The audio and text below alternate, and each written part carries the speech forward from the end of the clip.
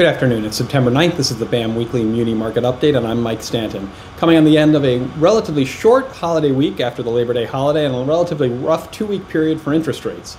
Uh, interest rates have surged higher over the last two weeks, supported by a drumbeat of comments from a wide variety of members of the Fed's Policymaking Open Markets Committee, who have made it clear that they remain strongly committed to fighting inflation as their top priority. The market is now uh, assuming a 75 basis point increase in short term rates at their next meeting later in September, with more rates to follow after that. In the muni market, that turned into higher rates over the last two weeks for both the 30 year and the 10 year. The 30 year is 36 basis points higher than it was, up to 3.5%, and the 10 year is uh, 25 basis points higher than it was, up to 2.74%.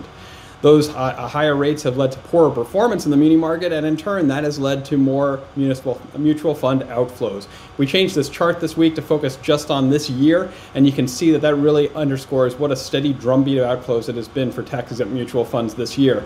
Uh, $1.1 billion of outflows reported by Lipper this week, following on the heels of $3.4 billion of outflows last week. Those trends are keeping pressure on the muni market and preventing it from outperforming the treasury market in any way. The ratio of tax exempt to taxable yields on the long end in 30 years is right above 100% now, and the ratio at uh, the 10 year mark is now up to 86, 82%, relatively high historically. In the new issue market, again, relatively quiet, dominated this week by a few large transactions $2.3 billion from the state of California, sold by Barclays this week. Uh, Commonwealth of Pennsylvania sold $1 billion of GO bonds, and the Triborough Bridge and Tunnel Authority here in New York sold 750 million. On the BAM insured front, BAM insured $138 million of new issue transactions across 12 series. Uh, the largest one was for Yuma County, Arizona, pledged revenue obligations, priced by Piper Sandler. 57 million.